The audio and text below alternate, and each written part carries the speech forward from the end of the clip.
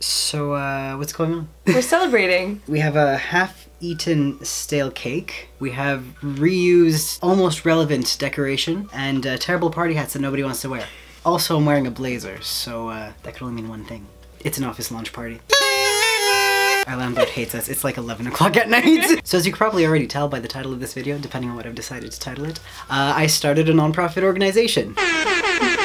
This is something that I've wanted to do for a really long time, and now I finally got to do it. So, what is the name of this nonprofit organization? Well, I'm just so glad you asked. Uh, so, I've decided to name this nonprofit organization Let's Get By Together Queer Incorporated Association. The Queer Incorporated Association is just added at the end to make the full acronym, but Let's Get By Together is LGBT, and then QIA, Queer Incorporated Association. Hi, this is Aaron from the future here. Sometimes when I film things with my girlfriend, I get really nervous and I forget important things that I wanted to say, so I'm just going to film this now and edit it in and we're all going to pretend that it was seamless, alright? Cool.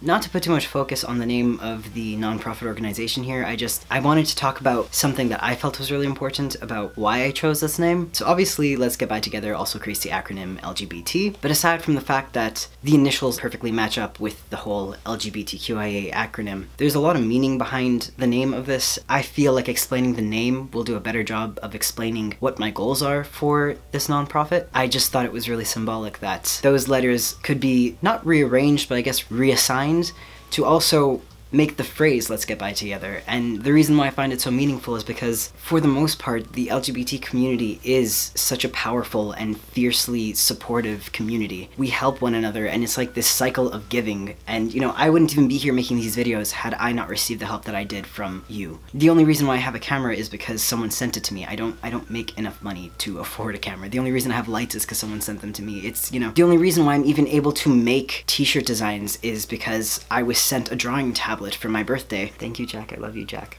But basically, I wouldn't be able to be making these things if it were not for the support that I received from the community. So I guess it's just the mixture of my drawings often being coupled with these important messages that I want to spread to raise awareness, and the fact that I wouldn't even be able to be making these designs if it weren't for the help that I received from the community. I didn't feel right making a profit off of all of this. I understand that we all need to pay our bills, we all need to buy groceries, keep the lights on, I absolutely understand that, but I don't feel the need to be making more than that, especially not off of my shirt. Designs that involve such sensitive topics like this. So I wanted to choose this name because it just coincidentally, perfectly, not only represented the community in a literal way, but represented the whole idea behind this, which is I want us to support each other, I want to contribute back to that cycle of giving that I've been so privileged to be a part of. As much as there are divides within our community, like with some binary trans people attacking non-binary trans people, with some gay, lesbian, and bisexual folk not wanting to be associated with trans folk, the abundance of biphobia that plenty of folks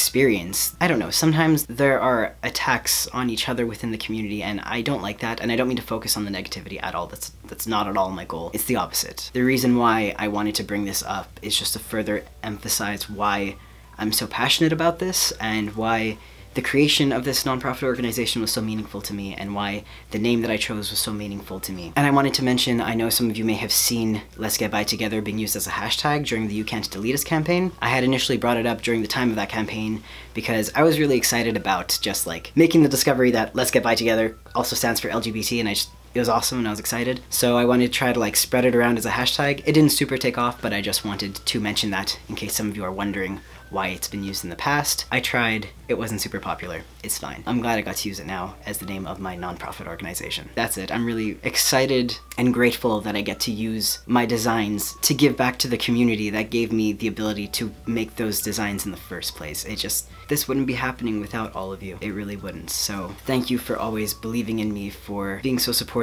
for encouraging me. I'm just really happy it's finally gonna be a thing. It's happening, it's here. Assigned nonprofit at birth. I already have a future fundraising campaign in mind. This video actually serves as an announcement for the launch of this nonprofit, but also an announcement for the next upcoming project that I'm really excited about, and I hope you're also really excited about. It's going to be to help queer neurodiverse individuals get access to really helpful tools that really have improved my own quality of life, so hopefully, obviously, will contribute to their quality of life. What I'm able to give back from these campaigns really depends on how much money is raised from the campaigns. No matter what, I know that I will still be able to give something to someone and make at least a little bit of a difference in their life the same way that you've all made such a huge impact on my own life. So thank you for being the reason why I get to give back. And thank you for just being so wonderful. You're just, you're great. I love you and I appreciate you. All right, good. Okay, enjoy the rest of this video. Depending on how this goes, there may or may not be bigger plans in the future. I guess we'll have to wait and see how this turns out. One thing I do want to say though is that the designs that I create and the fundraising campaigns aren't only queer things. I also want to include disability activism. Bear in mind that someone can be disabled and queer. Those those two things, there, there's an intersection there, there's an overlap. That's something that can happen. So the next design to come out is going to be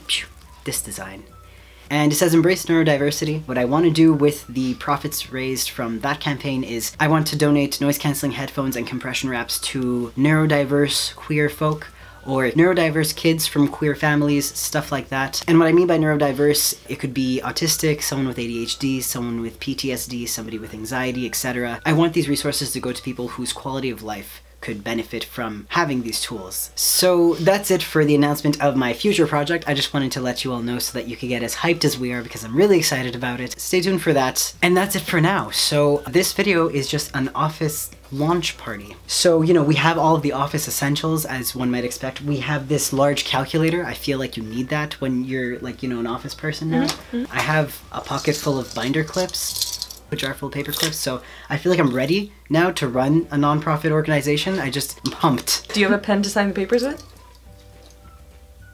Uh, we also have this balloon celebrating our zero year anniversary because we actually just got this news literally today. We're zero years old and we're celebrating it. So that's it, yeah. And I mean, it wouldn't be a mediocre office party if there weren't an uncomfortable, work appropriate dance party that nobody asked for. Cue the music.